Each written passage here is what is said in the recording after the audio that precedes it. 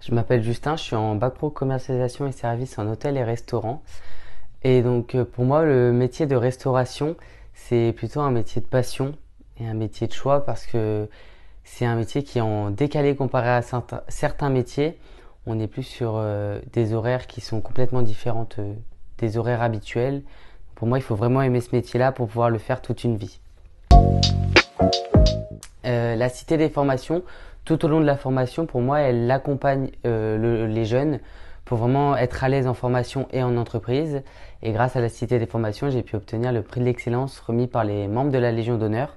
C'est un, prix qui valorise l'apprentissage pour remettre euh, en avant les jeunes, on va dire. Plus tard, ce que j'aimerais faire après mon bac, euh, c'est un BTS MHR, management en hôtellerie et restauration, pour ensuite euh, partir à l'étranger pour perfectionner mon anglais et trouver un, un poste en tant que chef de rang ou maître d'hôtel.